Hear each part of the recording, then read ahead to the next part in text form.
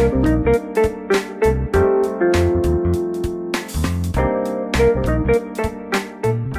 あ、えー、じゃあ行ってみましょうか。ね、ふさわしいですね。メジャー作品でございます。今夜扱い映画は先週ムービーガチャマシンを回して決まったこの映画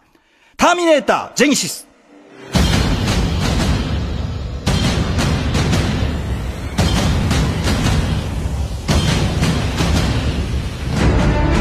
やっぱさ、その、アイコン化したシリーズのさ、もう、定めとして、ダダンダンダダンでもう笑っちゃうっていう問題はやっぱあるんだよね、えー大ヒット SF アクションシリーズ「ターミネーター」の最新作「ターミネーター3」以来、えーアーノルド・シュワルツェネガーが12年ぶりに復帰、まあ、本人がってことね、はい。えー将来人工知能に反乱する軍隊を率いる男の母親を抹殺するため未来から送り込まれたターミネーターと古いターミネーターの対決を描くっていうね、えー前もそういう話なかったっけっていう、えー監督はマイティー・ソーダークワールドなどのアラン・テイラーさんということでございます。さあということでこの映画見たよというリスナーの皆さんからのメール、えーいただいております。監視報告、えーメールの量は多いまあやっぱターミネーターね、世代超えて広くね、やっぱりあの見られてましてね、入り口が多い作品でしょう。えーただし感想は賛否両論、ほぼ半々に分かれていた。ただし褒めてる人で全面的に称賛している人は少なかった。ハードルを下げていったら意外と楽しめた。すごく面白いというわけではなかったが、まあまあ面白い。1作目と2作目のオマージュに興奮したなどの条件付き、もしくは全体でなく部分部分を褒める声が多かった。あとなぜか初メールという方が多くあの要は世代的に「ターミネーター2」で映画の面白さに目覚めたという方が結構目立ちました実際ね。はい。あのーだとしたらやっぱりねいいですね。僕は2には結構言いたいことありますけどね。はい、えーでもまあじゃあよかったよかったというあたりで、え代表的なところご紹介いたしましょう。えーっとね、ロシナンテさん。えー、歌間さんこんばんは、こんばんは。えー、ターミネーター、ジェネシス、ウォッチしてきました。えー、長年、ターミネーター3、バカ野郎、2の続編は USJ のアトラクションだと息巻いていた自分ですが、もうこういうのにも私はちょっと一言言いたい。えー、結論から言うとハードルが下がりまくっていたせいもあるかもしれませんが、めちゃくちゃ楽しむことができました。パッと見、3や4やサラコナークロニクズ、これテレビシリーズね。えー、さらに言うなら、えー、1や2で起こったことまで否定しているような内容に見えるかもしれませんが、僕には監督のシリーズに対する愛情が感じられました。えー、3や4を単なる黒歴史として仕切り直すリブートとは違い、もしかしたらあり得たかもしれない時間軸での物語としてきちんと弔ってあげたように思います。というより3や4 3や4が好きな人は、えジェニシスことイフのストーリーとして楽しめばいいのですと。えー僕自身は1と2の、えキャメロン2部作、まあ、ジェームズ・キャメロンが監督、直接監督した2部作、え2部作信者であり、一番好きなのは2ですが、そもそもターミネーターという物語は、えー1で綺麗にまとまっています。そうなんですよね。そこが問題。えータイムタイムスリップものとしてスマートに円環をなしており、本来続編が必要な物語ではない。えーただ僕のように、でもどうせなら、えー審判のジャッジメントで、まあ、要するにそのね、えコンピューターが反乱を起こして、えー核戦争起こっちゃうし、えジャッジメントで止めたくねと思う人は2までを正しい歴史として楽しめばいいのですと。えーつまりターミネーターとはもはや既存のシリーズものの枠に当てはまらない全く新しいジャンル映画となった。ターミネーターというジャンルなんだ。各々が各々の正しい歴史を選択し、それ以外は二次創作の、えーイフストーリーのような気持ちで鑑賞すればよいのです。距離感を持って。えーいや、なんなら自分の頭の中で新しい歴史を想像してしまったっていい。僕の中のターミネーターは T800 が溶鉱炉で溶けて終わっていますが、2で、2で終わっていますが、一人のファンとしてここから始まるであろうイフストーリー3部作を目いっぱい楽しみたいと思っていますと。まあだから、あのーまあそうですよね。世界観が広がっって楽しみ方広がっていいじゃないか。そういう見方もある。えーダメだったという方ご紹介しましょう。えっ、と、ラジオネームニートたけしさん。たけしさんはね、えー正直がっかりです。えーターミネーター1、2をテレビで見て育った世代、あと水拳2。なんだこれ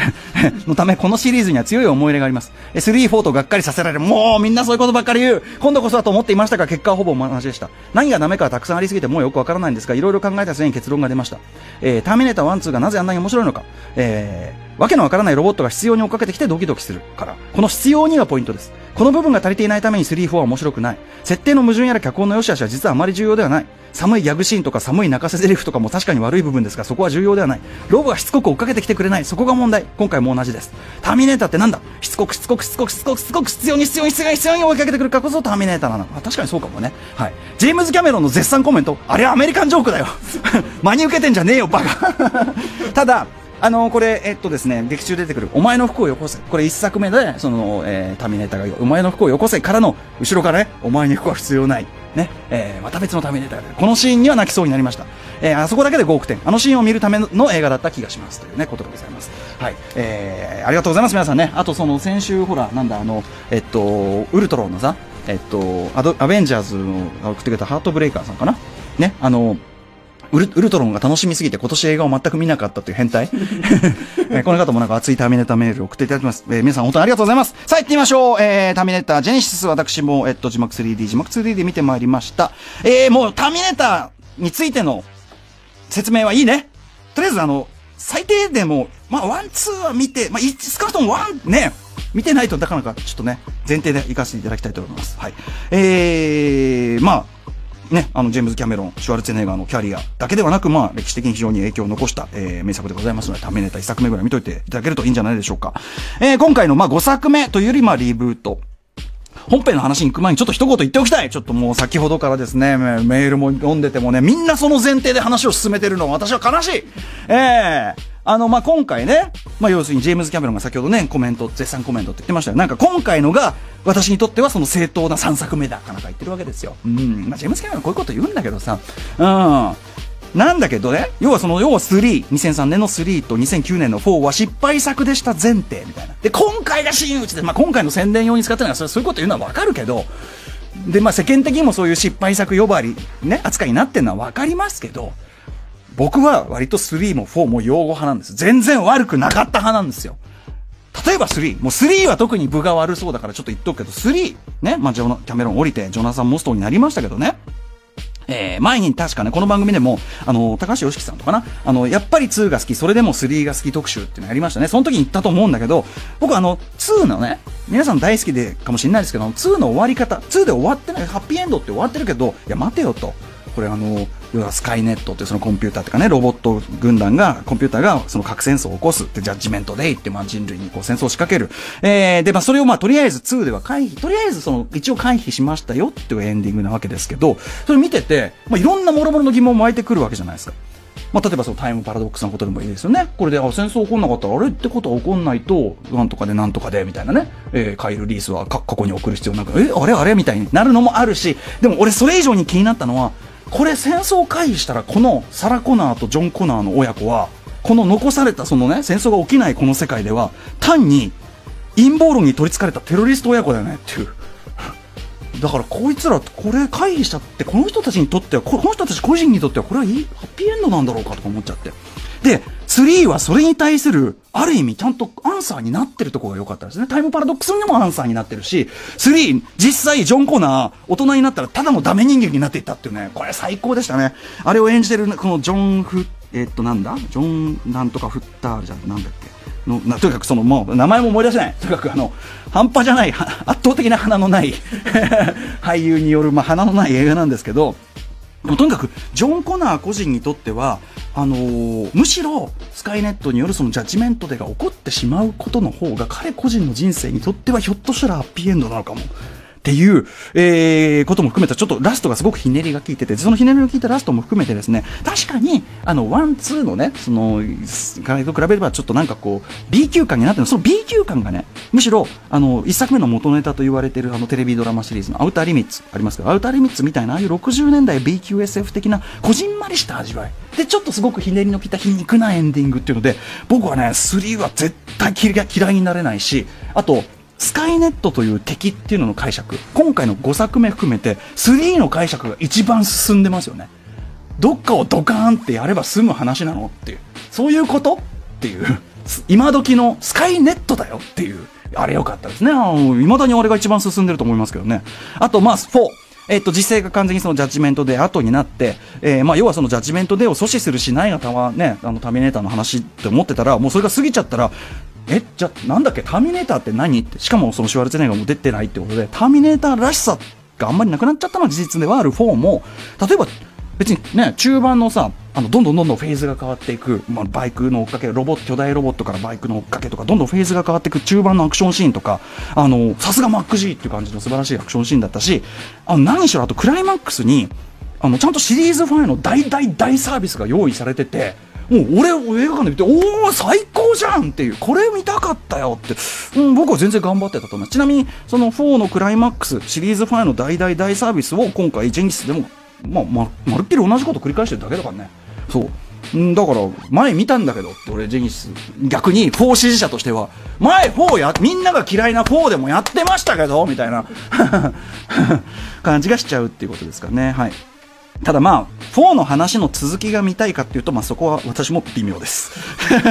えー、という感じのまあ立場なんですけど、でね、あのー、1、2のカルルコ社っていうのをまあ倒産しちゃったのと同じように、4を作ったハルシオン社っていうのも倒産しちゃって、で、あのー、ターミネーターのその制作権っていうのがまあ宙に浮いてたのを、まあスカイダンスとパラマウントが、えー、ついに取得してということで、仕切り直しということですね。このスカイダンスってで、えっ、と、デビッド・エリソンさんという人が仕切ってるスカイダンスというのは、まあ、あの、スタートレックのリブートとかもやってますから、リブート方法論というのが、まあ、パラマウント含めてあるということですけど、で、まあ、どう仕切り直すかっていう話ですね。要は、やっぱり特にその4の不評だった部分っていうのを踏まえて、何がターミネーターらしさなのかね、観客は何をもってターミネーターらしさと期待してるのかねっていうポイントを改めてきっちり抑えましょうよっていうのがまあ今回の仕切り直しですよね、はっきり言えば。えー、で、それは何かって言えば、もうここに尽きるんだけど、要はシュワルツェネガー本人出てもらわないとダメってことっすねっていう、もうぶっちゃけそういう話。シャルツェネガー本人が主演しているということ。4もちゃんとサービスさせてからやっぱり本人が出ないとダメ。えー、で、なおかつ、まあその、やっぱりジャッジメントデーというその巨大カタストロフの直前、えー、手前での阻止、事前阻止を目的とする、まあタイムトラベルもの、タイムパラドックスものっていう側面、これ捨てるとやっぱターミネーターっぽくはなくなっちゃうと、えー、というポイントじゃないかと思います。で、だからこそですね、今回のジェニスはですね、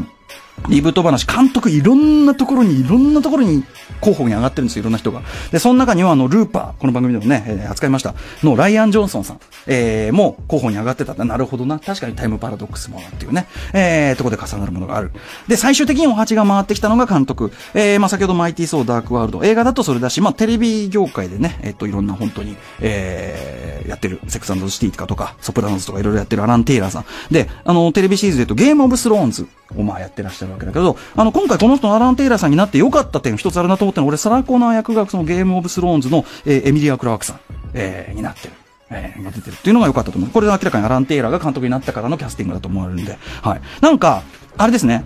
特に2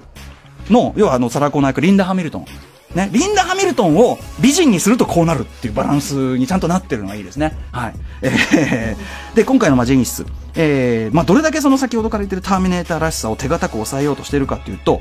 まあ、平たく言えばこういうことだと思います。前半、まあ、大体2時間6分で、6分間はまあ、あの、クレジットとしては、大体2時間の映画だと思ってください。きっかり1時間、前半1時間は、ほぼ、過去シリーズのいいとこ取り、オマージュをしながらの、これまでのおさらいです。はい。えー、というか、もっと言えば、観客の多くがターミネーターとは大体どういうお話であるかを知っている前提。映画実際見てなくても大体どんな話か知っている前提。えー、で、なおかつ、一作目、1984年のターミネーター1作目では現在の実勢であった1984年さえもすでに過去になっていて、えー、シュワルツェネガーもすでにもう老年であるという現実っていうのも前提とした、要はメタ構造、えー、込みのセルフパロディ的なダイジェストです。はっきり言って前半は。はい。いいとこ取り。いいとこ言えばいいとこ取り。悪く言えばもう焼き直しと、まあそれがもうずっともうどっかで見たようなのがずっと続くと。えー、でまあオマージュで喜べるポイントもいっぱいあるんだけど、なので最初の1時間は、もちろんオマージュが楽しいって見方もできるけど、何にも新しいことはないです。でですね、中盤以降の1時間、まあ、シリーズ根本をひっくり返すような反則技的新設定を出してくるわけです。ちゃぶ台ひっくり返し的な。で、これ、ネタバレもクソも予告はもちろんポスター見てもそれがわかる急にね、予告でもはっきり言っちゃってるし、えー、なってるんですけど、これどうしようかな、これ、これね、これさえ入ってなければ俺もうちょっと中盤以降、おーってなった気がするんですよ。で、その中盤のあるビッまあ、新設定。でもこれ予告で見せちゃってるんですね。で、実際どういうことになってるかっていうと、予告見ればわかる以上の情報がこの映画、そこから要するに1時間、最初は、えー、これまでのおさらい。2時間以降は、まあ新要素なんだけど予告でまあこうネタバレはしてる。それ以上の要素がね、この映画ないんですよね。うん。なので、あれ？っていう、あれは全然予告で見た以上の要素が出てこない。えー、まあちょっともうネタバレしないで、やいて今日は言わないでおきましょうか。はい。で、ここまでの反則技的なね、じゃあね、ちゃぶ台返し的な新設定を入れてきてるんですよ。なのに、これが一番残念なところなんだけど、なのに、やってることは、あんまりそこから例えば後半1時間追っかけっことか、え、なんとかを爆発する、それをなんとか爆破しようとしてなんとかみたいな、うん、結局やってることは、いや、同じだよね、とか。あと、要するにそのなんか通常の兵器では殺せないタイプの敵が追ってくる。うん、まあ同じだよね。うん、っていう感じがする。そしてその今回の、まあ、敵として出てくる T3000 っていう、まあ一応その一番最新型のターミネーターというかその敵型の、あれが T1000 っていうね、その液状のその、いましたよね、あの2で出てきた、えー、今回のも出てきますけど、T1000 よりも決定的に何か新しいあれに、ってあれよりも絶対に強い感って、そんなね、なんかやっぱ体バラバラになったり変形したりする、なんか似たようなもんだってもあって、まあ結果似たような感じのことをやっぱやってるだけだなということで、うん。で、なおかつですね、えっ、ー、と、タイムトラベル。今回ですね、今までの設定もうさらにちょっと踏み込んだというか、今までそれなしだったよねってことをガンガンやるわけですよ。例えばタイムトラベル。未来にも行けますとか、複数行けますとか、えー、あと、ついに言い出した、別の時間軸っていうのがありますと。うん。まあ、2でもすでにあれっていう風になりかけてたんですよ。タイムパラドックス的な意味ではね。なりかけてたんだけど、今回いよいよそれが複雑化してですね、えー、いてですね、えー、まあ、要はその、この後さらに、まあ、2部作や3部作でさらに2作作るつもりっていうがゆえにちょっとまあ明かされてない謎とかもちょいちょいあったりするので一応後から納得できるようにはなってんのかもしんないけどなってんのかもしんないけどはっきり言って現時点ではもうその別の時間軸とか言われてるからもううん何でもありかよと。何でもありってのは要するにどうでもええわとイコールだからねっていうなんかもうな何の件で争ってたんだっけ？みたいなこれは何を何を守る話なの？みたいなうん、感じになってくるということだと思いますね。はい。まあ、とにかく複雑化しすぎても理屈はあの、ルーパーでね、名台詞ありましたね。タイムパラドックスの件は考えたくないっていう名台詞がありましたけど、まさにあの感じだと思います。はい。まあ、だんだんどうでもよくなってきちゃってる。で、それは別としても僕はお話し運びにも大いに疑問があるなと思ってます。例えばですね、えー、そのカイル・リース、今回ね、ジェイ・コートニーが演じます。まあ、ジェイ・コートニーはまたね、この人、アウトローの悪役以外、あんまりハマってないっていうか、花ないよね、この人もね。ジェイ・コートニーが、まあ、そのカイル・リース役で、過去、まあ、その1984年に、まあ、来る。その前にですね、まあ、要するにその、えー、シュワルツェネガーが1984年の状態のその若い状態のシュワルツェネガーと、まあ、老いたシュワルツェネガーが対決する。さっきメールでもあったように、ここのそのセリフのね、その、えー、かぶせとか気が利いてるんだけど、まあ、この戦いからの、要するにもうすでに戦士と化したサラ・コナーとこのコンビを組んでますっていうのを、カエル・キリスが来る前に先に見せちゃってるわけですよ。だからその後でカエルが来てからですね、その T 線が襲ってくるのを、ところにまあその二人がやってきて、そしたらそのね、えー、ターミネーターが、本当は味方側なんだけどいるからってんで、こう、うわーってこうさ、ビビったりするっていう、まあ通的な描写それをさ、いちいち繰り返すの、いや、もう先にそれ見せてるからあんまりもう、うざいんだけど、みたいな、鈍重な感じになっちゃってる。これ僕ね、もっと、途中までは一作目をもうちょっときっちりなぞって、ディスコの場面。ディスコでサラ・コナーがまさにターミネーターに今殺されるって瞬間にカイルが守るぞと思ったらそこになんとかわかんないけどね。とにかくそのディスコの場面とかまではコピーして、そこで初めてカイル・リースも新しくなった現実タイムラインっていうのを築くとか、要するに観客とカイル・リースの驚きが一致するような作りにしてた方が絶対効果的だと思うんですけど、何をまたさっきの分かりきった話してんのみたいなのが、えー、増えてきちゃうと思います。で、どうせそのオマージュとかやるんだったら、やっぱりそこはさ、例えば T 戦だったらロバート・パトリックに演じてほしいとか、なんなら3のクリスタナ、えー、クリスタナ・ローケンとか出してくれるとかね、そういう問題もあったりする。はい。えー、あと、鈍重といえばですね、特に中盤そのカエルとサラがですね、なんかつ、くだらねえ口論をする場面が多すぎるし、長すぎるし、どうでもええわっていうのはね、ダラダラダラダラしやがってっていうのもあるし、うん、まあ、キャラクターの描き込みがすごく浅くなってる、その、その、ダイジェストになっちゃってる、浅くなってるものも、例えばカエルが現代の社会に来て、その現代の社会にカルチャーショックを受けてるみたいな描写は、ま、全くなくなってるため、なんかその、彼のキャラクターの深みみたいなのも全然なくなっちゃってるとか。あと、サラダってさ、今回敵になる人、仮にも未来のじ、ね、大事の人がこうなっちゃうのに、そこの葛藤、ドライに気持ち切り替えすぎだろ、お前とか。うん。あと、シュワルツェネガーはもう普通にただの人間の頼りになる親父にしか見えないとかですね。えー、まあいろいろあるんだけど、あとクライマックスでね、例えば、起爆スイッチを誰が押すみたいな問答をするわけですよ。俺は、俺は押せない。起爆スイッチを誰が押す？で、バーッつってこうカイルに渡すみたいな、その散々引っ張るシーンがあるんだけど、そこのオチ、起爆スイッチ壊れちゃった。で終わりとか、はあ？さっきまでの3分返して。と、みたいなのが多いわけですよね。あと、ま、その破壊行為、規模のインフレがどんどんどうでもいい感を増してる感っていうのもあると思います。ね。えー、例えばそのトラックみたいなドカーンってやってさ、人殺さないってから人死んでんだろうって。でもそれのなんか影響とか全然がな、もう考えられてない感じ。一作目は、例えばその警察署を襲撃する、警察署に恐らず、恐れずに入ってくるターミネーターっていうのがすごく衝撃だったし、痛快だったんですよ。それに比べるともう、何もこう、だって何でもありじゃん、もうバンダドッカンドッカンやってね。あれ、アップル爆破してるようなもんだからね。あいつら。なんかそういう、こう、やっぱインフレによるどうでもよさもあると思います。えー、クレジット後に、まあ、自作への引っ張りとかがあるんだけど、正直、こっから先の話どうなろうとね、要はやっぱり一作目の完成度の高さとか諸々も含めて、実はシリーズ化が向かない話なんじゃないかというのを再確認できる新作ではございまして、はい。ただまあ次回作あるならそこで進化が問われると思います。まあ次のその続きを見て、あ、一作目のそういうのもそういう作りなのも納得っていうことなのかもしれないんで、情報修正する可能性はありますが、はい。えー、現状はこんな感じでございました。まあリアルタイムで判断するためにも劇場でウォッチしてみてください。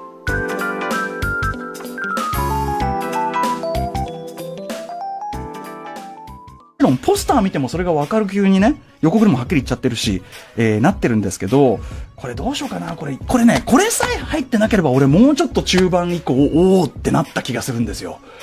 で、その中盤のあるビッまあ、新設定。でもこれ予告で見せちゃってるんですね。で、実際どういうことになってるかっていうと、予告見ればわかる以上の情報がこの映画、そこから要するに1時間、最初は、えー、これまでのおさらい。2時間以降は、まあ新要素なんだけど予告でまあこうネタバレはしてる。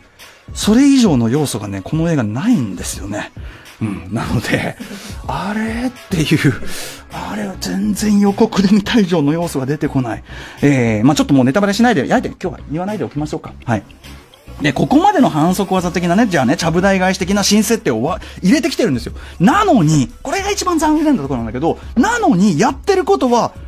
あんまりそこから例えば後半1時間追っかけっことか、え、なんとかを爆発する、それをなんとか爆破しようとしてなんとかみたいな、うん、結局やってることは、いや、同じだよね、と。あと、要するにそのなんか通常の兵器では殺せないタイプの敵が追ってくる。うん、まあ同じだよね。うん、っていう感じがする。そしてその今回の、まあ、敵として出てくる T3000 っていう、まあ一応その一番最新型のターミネーターというかその敵型の、あれが T1000 っていうね、その液状のその、いましたよね、あの2で出てきた、えー、今回のも出てきますけど、T1000 よりも決定的に何か新しいあれにってあれよりも絶対に強い感って、そんなね、なんかやっぱ体バラバラになったり変形したりする。なんか似たようなもんだってもあって、まあ結果似たような感じのことをやっぱやってるだけだなということで、うん。で、なおかつですね、えっ、ー、と、タイムトラベル。今回ですね、今までの設定もうさらにちょっと踏み込んだというか、今までそれなしだったよねってことをガンガンやるわけですよ。例えばタイムトラベル。未来にも行けますとか、複数行けますとか、えー、あと、ついに言い出した、別の時間軸っていうのがありますと。うん。まあ、2でもすでにあれっていう風になりかけてたんですよ。タイムパラドックス的な意味ではね。なりかけてたんだけど、今回いよいよそれが複雑化してですね、えー、いてですね、えー、まあ、要はその、この後さらに、まあ、2部作や3部作でさらに2作作るつもりっていうがゆえにちょっとまあ明かされてない謎とかもちょいちょいあったりするので一応後から納得できるようにはなってんのかもしんないけどなってんのかもしんないけどはっきり言って現時点ではもうその別の時間軸とか言われてるからもううん何でもありかよと。何でもありってのは要するにどうでもええわとイコールだからねっていうなんかもうな何の件で争ってたんだっけみたいなこれは何を何を守る話なのみたいな、感じになってくるということだと思いますね。はい。まあ、とにかく複雑化しすぎても理屈はあの、ルーパーでね、名台詞ありましたね。タイムパラドックスの件は考えたくないっていう名台詞がありましたけど、まさにあの感じだと思います。はい。まあ、だんだんどうでもよくなってきちゃってる。で、それは別としても僕は話し運びにも大いに疑問があるなと思ってます。例えばですね、えー、そのカイル・リース、今回ね、ジェイ・コートニーが演じます。まあ、ジェイ・コートニーはまたね、この人、アウトローの悪役以外、あんまりハマってないっていうか、花ないよね、この人もね。ジェイ・コートニーが、まあ、そのカイル・リース役で、過去、まあ、その1984年に、まあ、来る。その前にですね、まあ、要するにその、えー、シュワルツェネガーが1984年の状態のその若い状態のシュワルツェネガーと、まあ、大分シュワルツェネガー、えー、ダメだったという方ご紹介しましょう。えっ、ー、と、ラジオネームニートたけしさん。たけしさんはね、えー、正直がっかりです。えー、タメネタ1、2をテレビで見て育った世代、あと水拳2。なんだこれ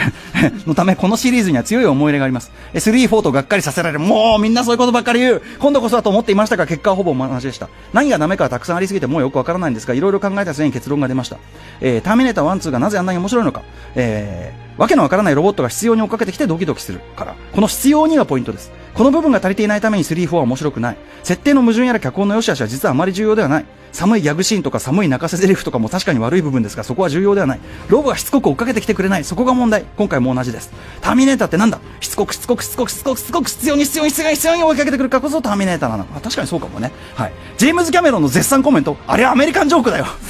真に受けてんじゃねえよバカ。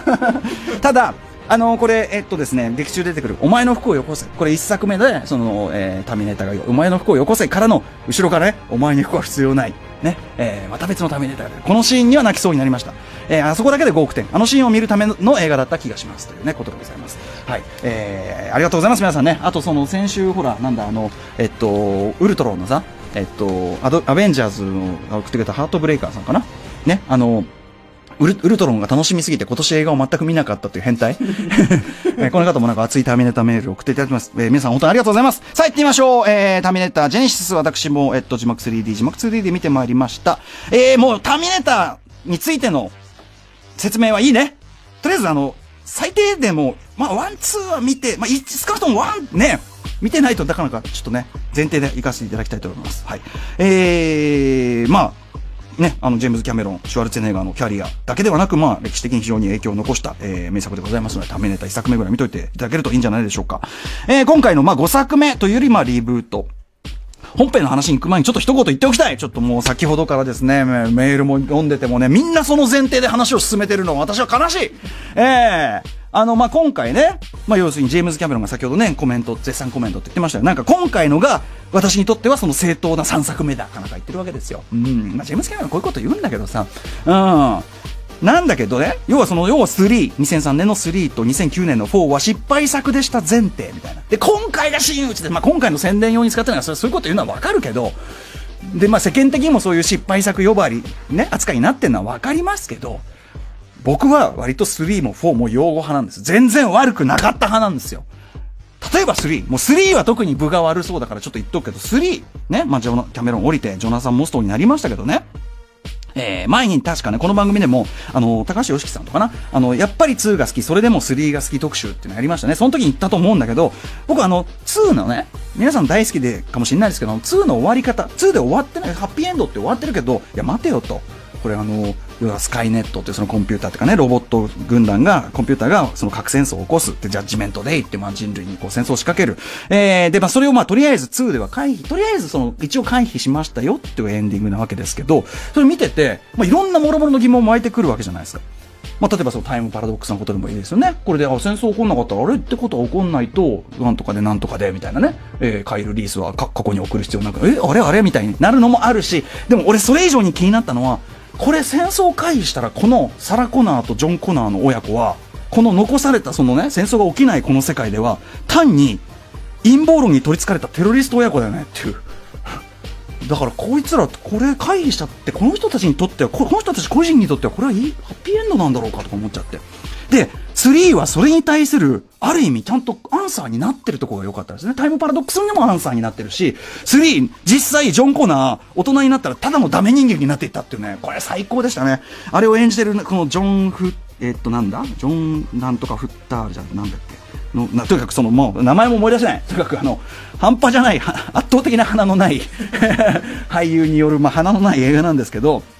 もとにかくジョン・コナー個人にとってはあのー、むしろスカイネットによるそのジャッジメントでが起こってしまうことの方が彼個人の人生にとってはひょっとしたらハッピーエンドなのかも。っていう、えー、ことも含めた、ちょっとラストがすごくひねりが効いてて、そのひねりが効いたラストも含めてですね、確かに、あの、 One、Two のね、その、回と比べればちょっとなんかこう、B 級感になってるその B 級感がね、むしろ、あの、一作目の元ネタと言われてるあのテレビドラマシリーズのアウターリミッツありますけど、アウターリミッツみたいな、ああいう60年代 B 級 SF 的な、こじんまりした味わい。で、ちょっとすごくひねりの効いた皮肉なエンディングっていうので、僕はね、3は絶対嫌いになれないし、あと、スカイネットという敵っていうのの解釈。今回の5作目含めて3の解釈が一番進んでますよね。どっかをドカーンってやれば済む話なのっていう。そういうことっていう。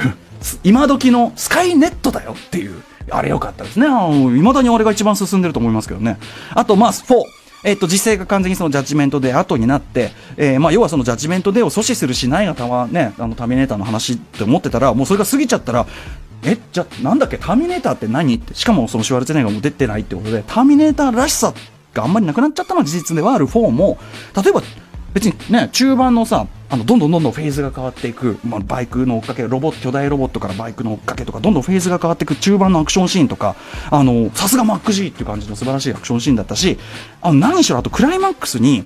あのちゃんとシリーズ5の大大大サービスが用意されててもう俺映画館で見ておお最高じゃんっていう。これ見たかったよって、うん、僕は全然頑張ってたと思います。ちなみにその4のクライマックスシリーズ5の大大大サービスを今回ジェニスでもまあままるっきり同じこと繰り返してるだけだからね。そう。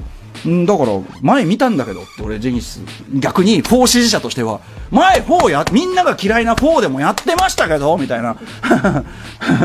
感じがしちゃうっていうことですかね。はい。ただまあ、4の話の続きが見たいかっていうと、まあそこは私も微妙です。えー、という感じのまあ立場なんですけど、でね、あのー、1、2のカロルコ社っていうのがまあ倒産しちゃったのと同じように、4を作ったハルシオン社っていうのも倒産しちゃって、で、あのー、ターミネーターのその制作権っていうのがまあ宙に浮いてたのを、まあスカイダンスとパラマウントが、えー、ついに取得してということで仕切り直してことですね。このスカイダンスってで、えーと、デビッド・エリソンさんという人が仕切ってるスカイダンスっていうのは、まあ、あのスター・トレックのリブートとかもやってますから、リブート方法論っていうのがまあパラマウント含めてあるということですけど、で、まあどう仕切り直すかっていう話ですね。要は、やっぱり特にその4の不評だった部分っていうのを踏まえて、何がターミネーターらしさなのかね、観客は何をもってターミネーターらしさと期待してるのかね？っていうポイントを改めてきっちり抑えましょうよっていうのがまあ今回の仕切り直しですよね、はっきり言えば。えー、で、それは何かって言えば、もうここに尽きるんだけど、要はシュワルツェネガー本人出てもらわないとダメってことっすねっていう、もうぶっちゃけそういう話。シャルテネが本人が主演しているということ。4もちゃんとサービスさせてからやっぱり本人が出ないとダメ。えー、で、なおかつ、まあその、やっぱりジャッジメントデーというその巨大カタストロフの直前、えー、手前での阻止、事前阻止を目的とする、まあタイムトラベルもの、タイムパラドックスものっていう側面、これ捨てるとやっぱターミネーターっぽくはなくなっちゃうと、えー、というポイントじゃないかと思います。で、だからこそですね、今回のジェニスはですね、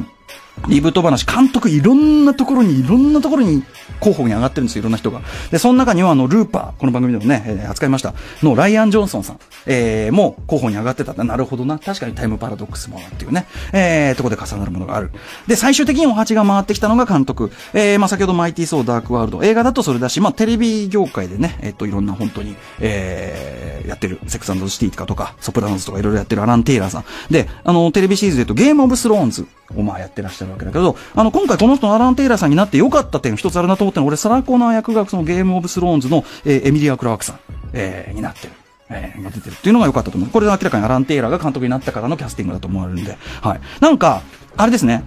特に2の、要はあの、サラコーナー役、リンダ・ハミルトン。ね、リンダ・ハミルトンを美人にするとこうなるっていうバランスにちゃんとなってるのがいいですね。はい。えー、で、今回のまあジェニス、えー、まあどれだけその先ほどから言ってるターミネーターらしさを手堅く抑えようとしてるかっていうと、まあ、平たく言えばこういうことだと思います。前半、まあ、大体2時間6分で、6分間はまあ、あの、クレジットとしては、大体2時間の映画だと思ってください。きっかり1時間、前半1時間は、ほぼ、過去シリーズのいいとこ取り、オマージュをしながらの、これまでのおさらいです。はい。えー、というか、もっと言えば、観客の多くがターミネーターとは大体どういうお話であるかを知っている前提。映画実際見てなくても大体どんな話か知っている前提。えー、で、なおかつ、一作目、1984年のターミネタ1作目では現在の実勢であった1984年さえもすでに過去になっていて、えー、シュワルツェネガーもすでにもう老年であるという現実っていうのも前提とした、要はメタ構造、えー、込みのセルフパロディ的なダイジェストです。はっきり言って前半は。はい。いいとこ取り。いいとこ言えばいいとこ取り。悪く言えばもう焼き直しと、まあそれがもうずっともうどっかで見たようなのがずっと続くと。えー、でまあオマージュで喜べるポイントもいっぱいあるんだけど、なので最初の1時間は、もちろんオマージュが楽しいって見方もできるけど、何にも新しいことはないです。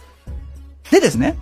中盤以降の1時間、まあ、シリーズ根本をひっくり返すような反則技的新設定を出してくるわけです。ちゃぶ台ひっくり返し的な。で、これ、ネタバレもクソも予告はもちろん、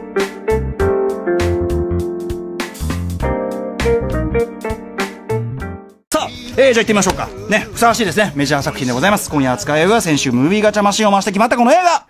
ターミネーター、ジェニシス。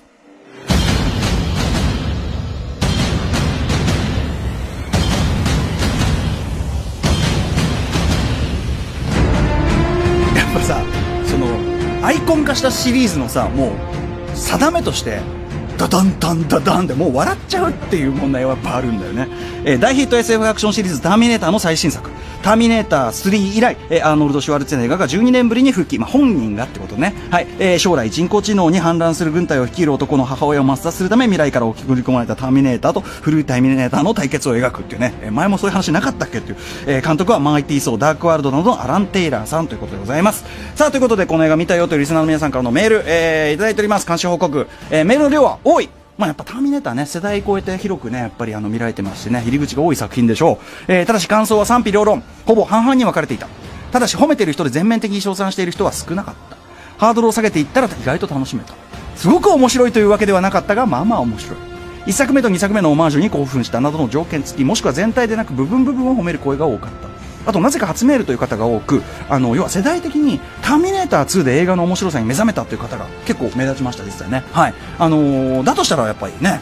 いいですね。僕は2には結構言いたいことありますけどね。はい、えーでもまあじゃあよかったよかったというあたりで、えー代表的なところご紹介いたしましょう。えー、っとね、ロシナンテさん。えー、歌間さんこんばんは、こんばんは。えー、ターミネータージェネシスウォッチしてきました。えー、長年、ターミネーター3、バカ野郎、2の続編は USJ のアトラクションだと息巻いていた自分ですが、もうこういうのにも私はちょっと一言言いたい。えー、結論から言うとハードルが下がりまくっていたせいもあるかもしれませんが、めちゃくちゃ楽しむことができました。パッと見、3や4やサラコナークロニクルズ、これテレビシリーズね。えー、さらに言うなら、えー、1や2で起こったことまで否定しているような内容に見えるかもしれませんが、僕には監督のシリーズに対する愛情が感じられました。えー、3や4を単なる黒歴史として仕切り直すリブートとは違い、もしかしたらあり得たかもしれない時間軸での物語としてきちんと弔ってあげたように思います。というより3や3や4が好きな人は、えージェニシスことイフのストーリーとして楽しめばいいのですと。えー僕自身は1と2の、えーキャメロン2部作、まあ、ジェームズ・キャメロンが監督、直接監督した2部作、え2部作信者であり、一番好きなのは2ですが、そもそもターミネーターという物語は、えー1で綺麗にまとまっています。そうなんですよね。そこが問題。えータミタイムスリップものとしてスマートに円環をなしており、本来続編が必要な物語ではない。えーただ僕のように、でもどうせなら、えー審判のジャッジメントで、まあ、要するにそのね、えーコンピューターが反乱を起こして、えー核戦争起こっちゃうし、えージャッジメントで止めたくねと思う人は、2までを正しい歴史として楽しめばいいのですと。えつまり、ターミネーターとはもはや既存のシリーズものの枠に当てはまらない全く新しいジャンル映画となった。ターミネーターというジャンルなんだ。各々が各々の正しい歴史を選択し、それ以外は二次創作の、えーイフストーリーのような気持ちで鑑賞すればよいのです。距離感を持って。えーいや、なんなら自分の頭の中で新しい歴史を想像してしまったっていい。僕の中のターミネーターは T800 が溶鉱炉で溶けて終わっていますが、2で、2で終わっていますが、一人のファンとしてここから始まるであろうイフストーリー3部作を目いっぱい楽しみたいと思っていますと。まあだから、あのーまあそうですよね、世界観が広がって楽しみ方広がっていいじゃないか。そういう見方